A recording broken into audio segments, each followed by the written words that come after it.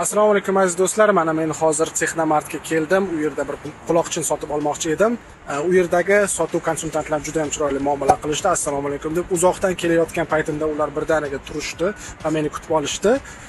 Va shu paytni o'zida men ulardan bir narsani so'raganimda ular birdaniga u narsa yo'q lekin undan zo'rrog'i bor deb qarang e'tibor bering. U narsa yo'q deb turib meni birdaniga kayfiyatimni tushirishi mumkin edi. U narsa yo'q. Afsuski undan zo'rrog'i bor deb juda ham chiroyli muomala qilib o'sha mahsulotni menga taklif qilishdi upselling qilishdi xohlasangiz ishlatib ko'rishingiz mumkin deb menga berishdi. Qo'limga ushlatib qo'yishdi o'sha mahsulotni.